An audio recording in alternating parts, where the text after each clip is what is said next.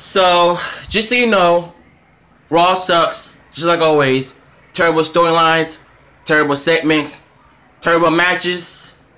Um, they basically stopped trying to be good. Um, you know, I like some things about last night, but the rest of it are just horrible.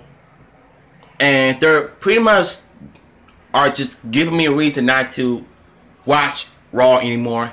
And let's just say it's starting to show just that. And also, Bayley's gimmick needs to change. Enzo's gimmick needs to change. The whole freaking WWE needs to change when it comes to its presentations. And I, for one, am not surprised by based on how they are. Um, they're just not good. I mean, this company sucks like always, and they they basically just stopped trying. So, what's the point of watching Raw if if I keep ranting on it? Well, I am I am now. It sucks. So let's just hope that tonight's episode of SmackDown can pretty much deliver on its own because women's Money in the Bank match is tonight on SmackDown.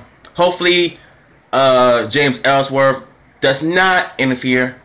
So let's just see how it goes.